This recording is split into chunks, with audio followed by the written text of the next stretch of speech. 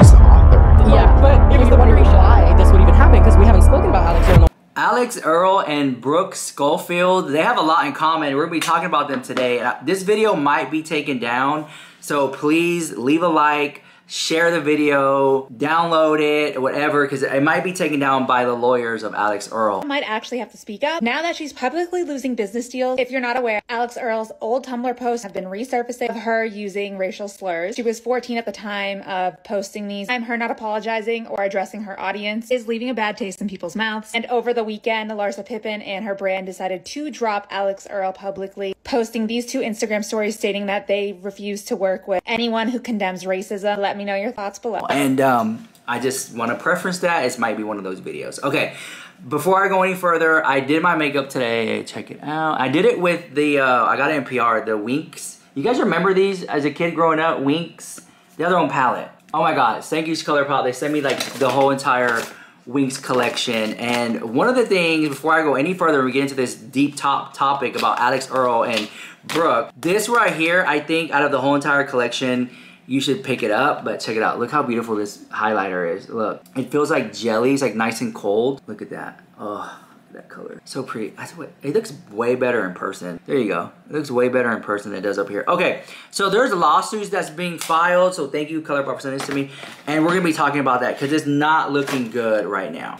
So this video, um, I, I did I did not know what I was going to make today. And I opened my my little news outlets and I found out that Alix Earle is getting called out for using the N-word and we're gonna be talking about it. So she has this um, this image of like picture perfect party lifestyle. I think she's 23 or 24 and apparently when she was 14 years old she was using the N word like nobody's business, right? Well, this got leaked out by what people are saying is a close friend of hers, and it's not shocking. This usually happens when it's like a jealous friend or something like that. I'm not excusing what Alix Earle did, but it seems like there's a magazine that is really out to expose her and demand answers as to why. Now, Alix Earle is a millionaire. This article popped up, the Alix Earle Gen Z millionaire exposed for her, you know, past, for her slurs, she hasn't addressed it. And people on TikTok are calling her out. So it is giving a little bit of like Brooke Schofield. But however, I think Brooke did apologize three times. I might be mistaken by that by the time making this video.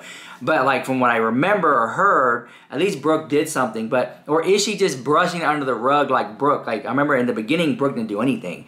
And from a PR standpoint, the best thing to do is get ahead of it and talk about it. But here's what people are saying on TikTok about it. What a disappointing turn of events. Yesterday, tweets came out tweets came out from a, a, very big influencer. The influencer is Alix Earle. These tweets, allegedly and for entertainment purposes only, were discovered from 2014, so I guess she was around 15 years old, and she was using a very profane, racist slur. I am, as an adult, as a parent, am very disappointed. I honestly looked up to this girl for my kids. I was like, minus the partying and stuff like that, but she kept herself out of drama on TikTok. I know we all have a sordid past, I get it, but I think we're all taught from a very young age that is a word you do not use. You may think you're cool and sling it around and, oh, I didn't use the ER at the end. No, you still use the word. You still are implying the word, and that is a horrific, hurtful, degrading word. I know it's a PR nightmare and she is probably preparing an apology, but in my opinion, you knew that was out there. You knew you've used this word before.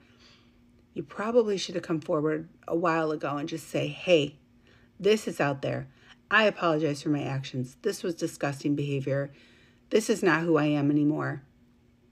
And maybe we could have grown from there. But the many girls that look up to you, this is very disappointing for them. Just when you think maybe there's a good one. Well, then it gets even worse, okay? because Alix Earle's legal team is now suing a podcast. Yeah, like, but if you're wondering why this would even happen, because we haven't spoken about Alix Earle in a while, it's because someone posted on our subreddit on the like heels of the Brooke Schofield stuff. Well, Alix Earle apparently has her fair share of a racist past with using the N word a lot on her Ask FM, and so people posted screenshots of that in our subreddit, and her lawyer said that they have a trademark to that, which is like you trademarked her racist Ask FM things? Like, Literally, what? I was like, oh, that's a creative tactic. It is crazy to me that instead the method to get rid of this, because that's first of all unrealistic to begin with, but is to trademark them and try and get people like to Copyright legally- takedown. That is insane. Like you're only draw like Streisand effects And in I was full, flabbergasted. full force. We have weird ass people who have a lot of money and just try to make things go away. Alix Earle had her lawyers email us. I have to say it. I can't keep it in. It is the weirdest shit I've ever seen. They emailed us, first of all, thinking that we have any control or association with our subreddit, even though it is stated multiple times on every single post that we have no affiliation with that. We don't moderate That- it. yeah. We don't have any access to it. And either way, her lawyer contacted us and said that we have violated their copyright. Oh, no, no. We have violated like a, dozen thousand laws rights. According it to this gives email, Janet including bit. like money laundering or something. Like it's Janet level, like you're gonna go to jail for years. You know, and I know I made videos about that podcast, but I was like joking, poking fun at it. So I hope you guys don't think I'm upset. It's like it's you know I'm just a troll. But anyway, so here's the lawsuit that they're going through because Alix Earle. Here we go, roll it. Oh, I just know Fanita is mumbling and cackling somewhere in her room right now. People just don't know who to trust anymore, especially after Brooke Schofield's racist tweets have been released. And now we have some unearthed racist comments from Alix Earle herself. I believe this is one of those sites where you ask somebody questions anonymously and they get to answer, but you can see many times that Alix Earle said the N word repeatedly, repeatedly, repeatedly. Okay? Child, at this point, I just think we don't know who to trust. We don't know who is okay. Like, I feel like white influencers back to back to back like this being um, exposed for their racist past and probably their current racist selves is just proof that we need to diversify the platform on here. My question is Is Alix Earle even going to address these allegations? Because she's not much to really speak on things during the Fanita situation. She kept quiet during the whole thing. Her comments were bombasted with people trying to get her attention or to speak on the subject. And I highly doubt she will speak on this one. Like, who is next? Okay, grab a snack and come. We have a lot to talk about. I have a lot to talk about. Pull this out. Okay, I broke my mirror, so I go. I only have like pieces of it. Hold on. okay. I have a lot to say about this topic. I have went through a similar situation before in the past, and the best thing to do is just to address it. And I think what Alix Earle is doing by not saying anything at all, she's making it worse for her. Her fans want to know if this is true. She hasn't confirmed or denied it. She can say it's fake or anything, but she hasn't said anything at all. Put this on Reddit left left a little comment because I think they went to school with her. Okay, so maybe she didn't go to school with them, but let me read to you what the poster said. Alix Earle saying racist things and the N word when she was when she was 15. She also she also bullied POC girls in high school for having their hair texture and shouted on the streets of Red Bank, New Jersey, for Mexicans to go back to go back where they came from. I've posted these before and she has blocked me and it didn't go viral. So hopefully this time people can see who she is and that she doesn't deserve this platform.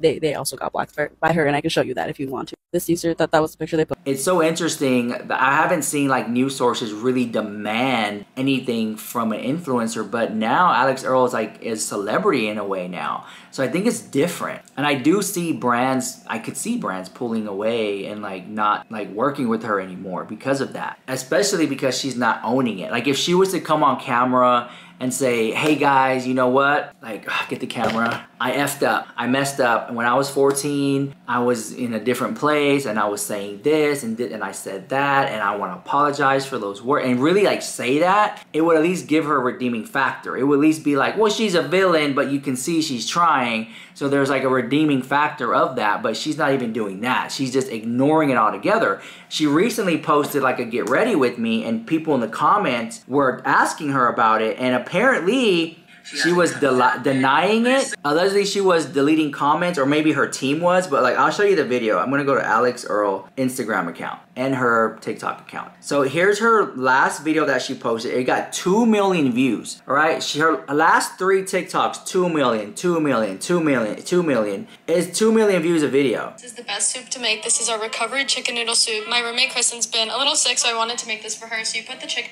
That was 17 hours ago. A cooking video. In the comment section, so good. Yeah, babe, there's no soup. Uh, this could never make me like you. Silence is wild. I'm gonna put a, I'm gonna put a little eye emoji in the comment section. They could never make me like you. Silence. Where? Why you silent? Your silence, Alix Earle. Would you not? Do we know them? Podcast. Like the people in the comment section are actually really coming for Alix Earle right now, and it's so interesting because most of the time the creators are blocking it or whatever. But you can see the comments here.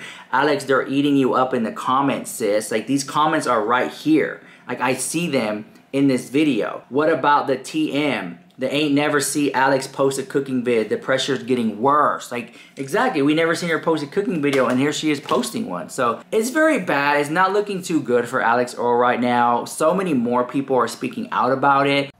All right, we have an update on the very demure girl. This is editing Rich Lux here. Well, we talked about yesterday that her ex lover came forward and said that she had blocked her. Remember that? So if you guys don't know what I'm talking about, if you didn't catch yesterday's video, let me get you caught up here and let me roll you the clip of the guy who said that got blocked. So I was at an influencer event in LA this weekend and I walk in and I immediately see the demure girl, right? And I'm like, oh my God, I want to make a TikTok with her so bad, but I didn't want to be cringe. So I'm like walking around and I'm like, when she's not busy doing interviews, whenever else, I'll go up to her. So I'm like standing by her, and this guy comes up to me and he's like, Hey, how's it going? And I'm like, Good. And he's like, I just want to say I love your content. And I'm like, Oh, thank you so much. And I introduce myself. And he's like, Do you want to meet my friend? And I'm like, Your friend? And he's like, Yeah, this is like the demure girl is my best friend. And I'm like, Oh my God, yeah. Like, I was like, I actually really wanted to make a TikTok with her if that's like, would she be weirded out by that? And he's like, Oh my God, no, I'll literally ask her for you. So he like taps her when she's done talking, doing a little interview thing. And he's like, hey, this is Jeff. Like, remember I showed you his TikTok, blah, blah, blah, blah. And she's like, oh my God, yes. So she like had seen my video or something, right? And so she's so sweet. She's like, yeah, let's like, let's make a TikTok really quick. So I make the TikTok, this one that I posted.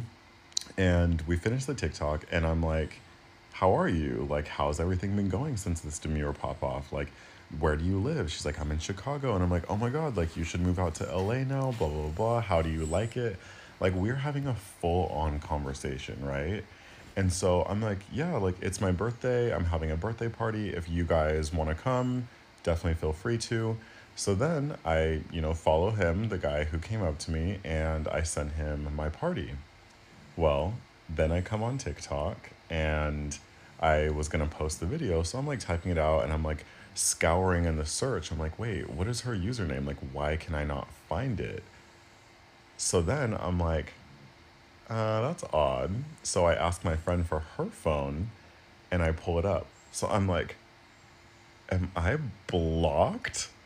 So I literally have my friend send me her account and I click on it and my ass is blocked. So I message him, I'm like, hey, I just went to go tag your best friend in the video we took, and I'm pretty sure I'm blocked. And he's like, No way, that would be so weird. Let me go ask her. And I get a message back, and he's like, Yeah, I guess she blocked you because one time she messaged you on Grindr and you blocked her. So here's the thing I don't remember doing that because typically, if I'm not into someone, I just don't respond unless they are like blowing up my messages, which I don't think she's that kind of girl. So I can't imagine blocking her. But I also was like, babes, you have like 2 million followers. You came across my video and was like, fuck that bitch, I'm blocking it. But the wildest thing about it to me was that she was so nice when I was talking to her and so willing to take the TikTok, was like having a full conversation with me. And like, if I was blocking a bitch, I would be like, hey, no, I'm busy. So yeah, this was not very demure of her. Now that we've seen that, the update that we have is that Jules LeBron, the very demure girl, has responded. And she posted this on TikTok. She said, literally followed him because he reminded me of my little brother, EQ. And then she put ex lover, ha ha ha. Then other people chimed in and said, I actually blocked him too, and so on and so forth. So that's the update on that situation. So let me know what you think about that. I feel like back then he didn't want her. Now she's hot. She he's all on her. You know that's that's the truth. Back then they didn't want you. Now you're hot. They're all on you. All right, guys. This is Rich Lux with the hottest celebrity news on YouTube. Mwah.